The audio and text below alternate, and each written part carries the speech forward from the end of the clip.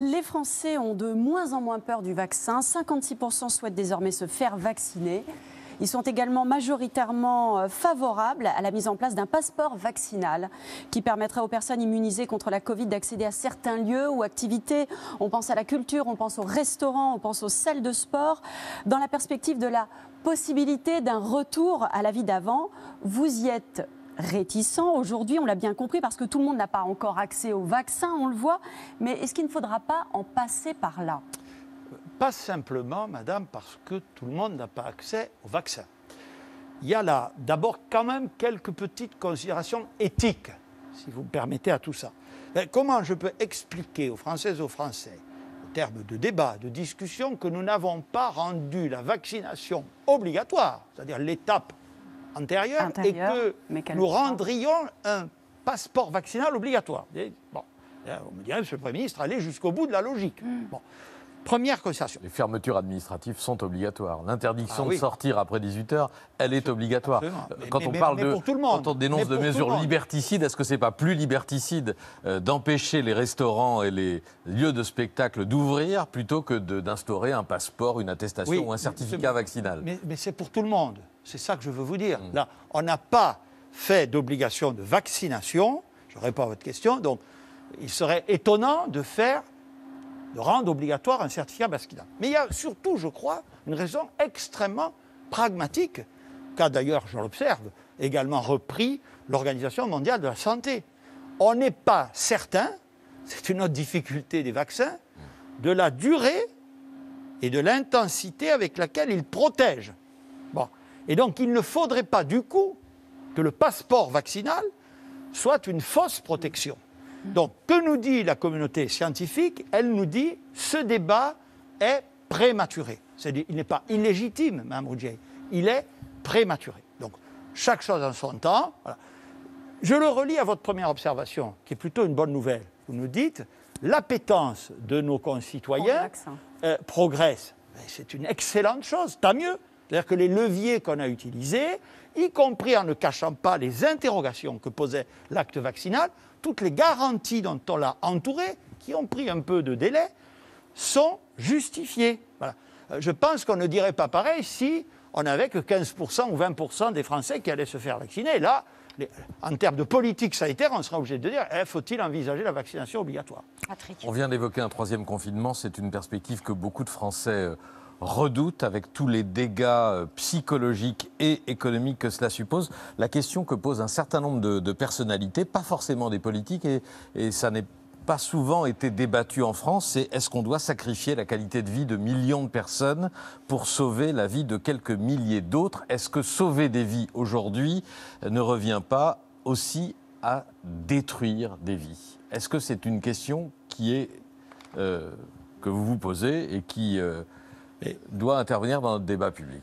Je, veux d'abord vous dire, M. Cohen, que je me pose toujours des questions, en permanence. Euh, celle que vous posez, je, ne suis pas sûr que je me la pose, en tout cas, si vous me le permettez, en ces termes.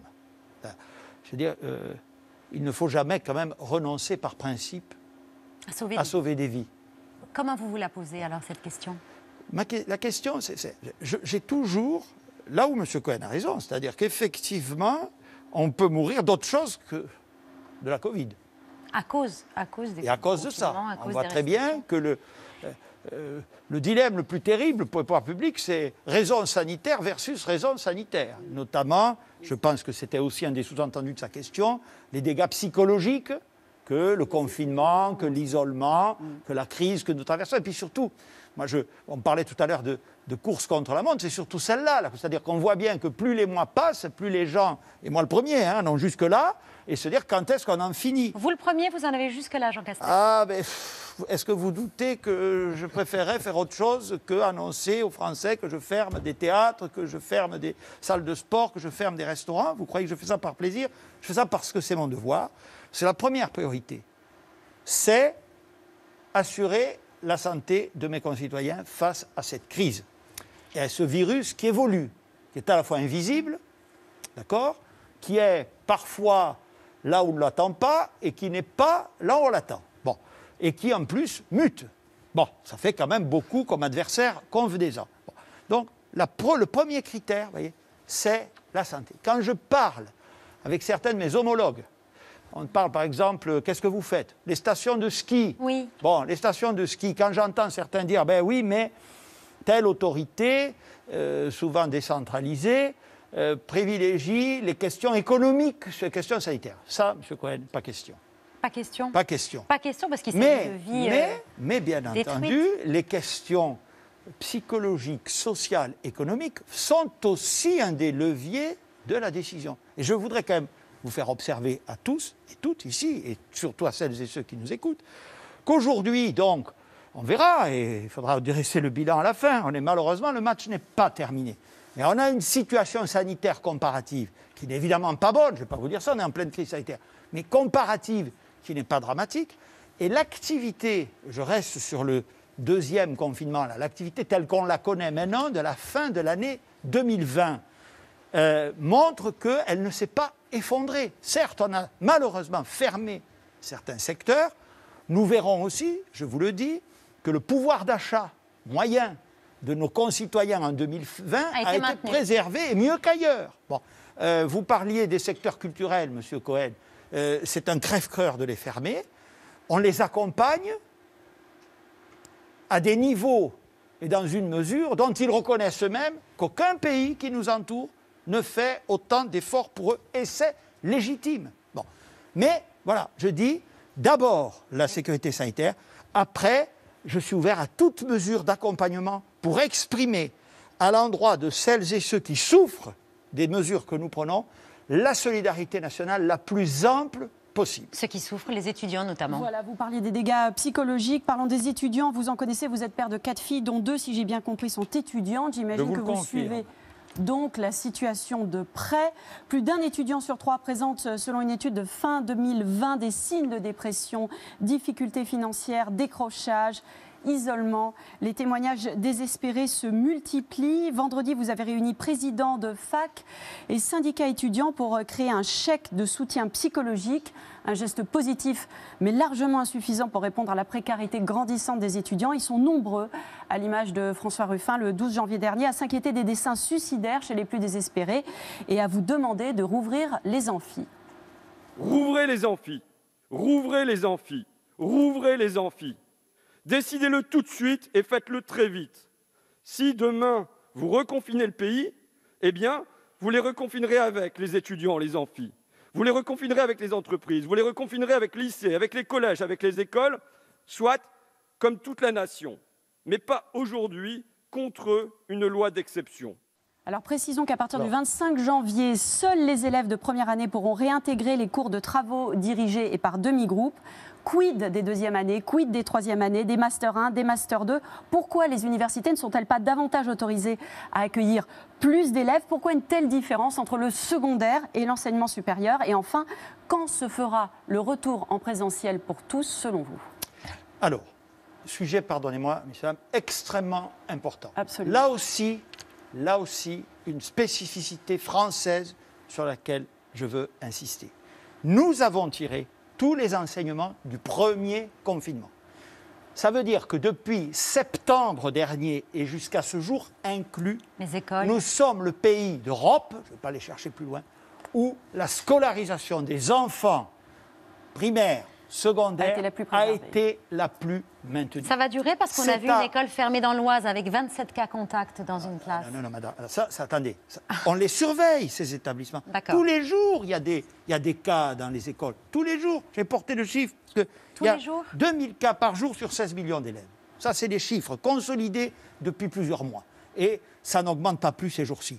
Tous les jours, sachez-le, les autorités dites académiques, en lien avec Vous les ferment de- des- Je les suis comme la prunelle de mes yeux, madame. Donc rien qui vous inquiète sur des en enfants tout, tout coup inquiet. Je ne suis pas là pour être inquiet, je suis là pour être vigilant. Donc je vous réponds, un, la priorité.